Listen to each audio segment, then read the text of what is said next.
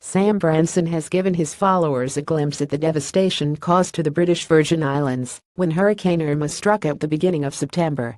The 32-year-old, who traveled out to provide supplies and aid to those affected by the natural disaster, has filmed a documentary showing the community as they start to rebuild their lives. Sharing a teaser for the 20-minute film on Instagram, Sam wrote after a very surreal and challenging few weeks, I have finally managed to take my phone footage from the BVI and turn it into a short film. I'm sad to show the extent of the devastation caused, but proud to be able to show the community spirit and hope of the people in the face of such adversity. Sam Branson traveled out to the British Virgin Islands after Hurricane Irma struck. Please visit Ofapi Hurricane Sun at YouTube or click link in my bio to watch my full 20-minute film.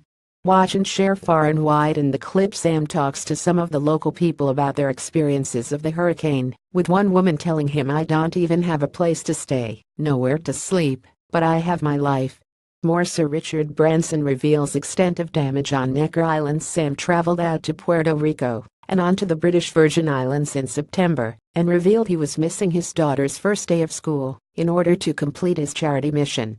His father Sir Richard Branson's home on Necker Island was completely and utterly devastated by the storm, with the entrepreneur and his staff forced to seek shelter in a concrete wine shelter when the hurricane struck. Sam has created a video showing the aftermath of the hurricane speaking via satellite phone for a blog post on the Virgin website after the hurricane. Sir Richard said it is a traumatic time here in the British Virgin Islands. I have never seen anything like this hurricane. All of the team who stayed on Necker and Moskito during the hurricane are safe and well. We took shelter from the strongest hurricane ever inside the concrete cellar on Necker, and very very fortunately it held firm. Our thoughts go out to everyone affected by the disaster elsewhere in the BVI, Caribbean and beyond.